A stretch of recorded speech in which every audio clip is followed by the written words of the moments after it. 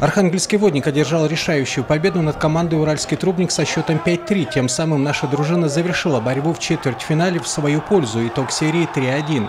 В полуфинал чемпионата России водник вышел впервые за 12 лет. На этой стадии его уже ждет команда «Байкал Энергия» из Иркутска. Мы изначально вышли на победу играть. Погода была не совсем хоккейная, но удачно угловые сегодня пошли как никогда вовремя, забили угловые. Я думаю, выиграли спокойно сегодня и с хорошим настроением едем на полуфинал. В преддверии Арктического форума президент России Владимир Путин посетит землю Франца Иосифа. Глава государства проверит результаты уборки и пообщается с экологами. Поездка на архипелаг станет для президента второй. Он посещал остров Земля Александры в апреле 2010 года. Тогда Путин обратил внимание на проблему загрязнения Арктики и инициировал программу по ее генеральной уборке.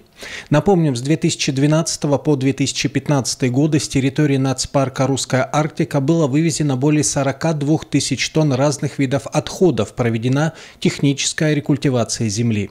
В 2017 году очистка загрязненных участков островов архипелага Земля Франца Иосифа продолжится.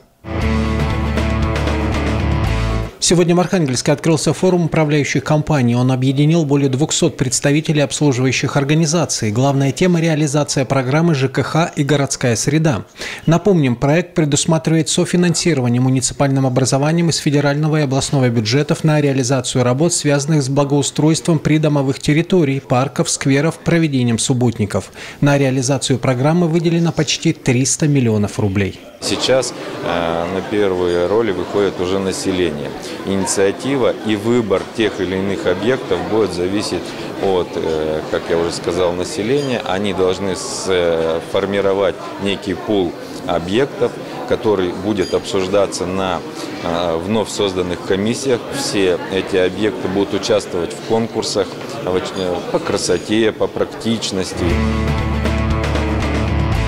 По итогам Арктического форума будет создана единая информационная база, куда войдут все данные о товарах, производимых для Арктики. Об этом сообщил Дмитрий Рогозин. По словам вице-премьера правительства России, к Арктическому форуму, который состоится в Архангельске, все субъекты Федерации готовят свои каталоги, которые будут перенесены в электронную сеть. Рогозин также отметил, что Россия готовится к тому, чтобы вернуться в Арктику на совершенно новой технологической основе.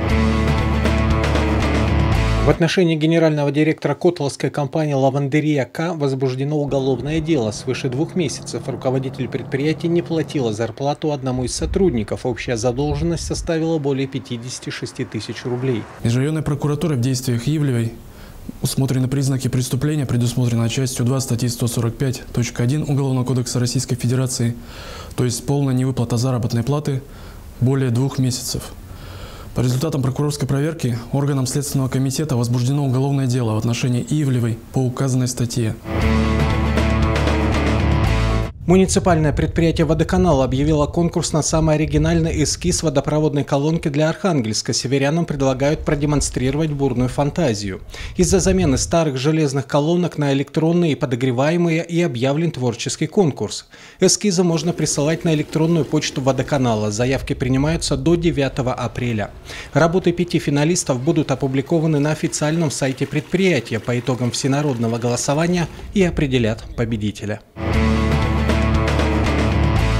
В Новодвинске 150 воспитанников детских садов приняли участие в городских лыжных соревнованиях. В команде от каждого учреждения 12 ребят. Каждый из них преодолел дистанцию в 100 метров. Подобные соревнования среди самых маленьких жителей города позволяют выявить подающих спортивные надежды ребят. Мне нравится кататься на лыжах, то, что они самые быстрые и самые различные. Я хочу в будущем стать настоящей спортсменкой и кататься на лыжах.